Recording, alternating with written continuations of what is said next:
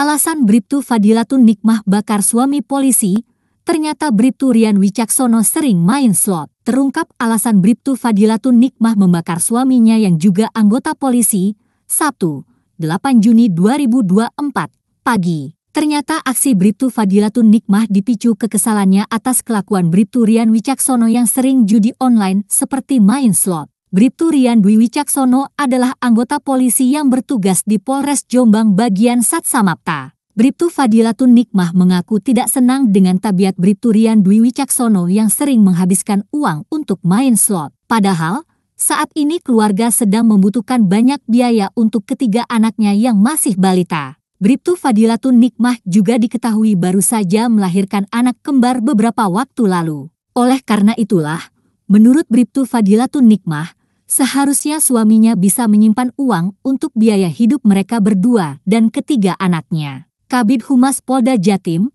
Kombes Pol Dirmanto mengatakan, alasan itu terungkap dari keterangan Bribtu Fadilatun Nikmah kepada Polda Jatim. Saudara almarhum korban sering menghabiskan uang belanja yang harusnya dipakai untuk membiayai hidup ketiga anaknya.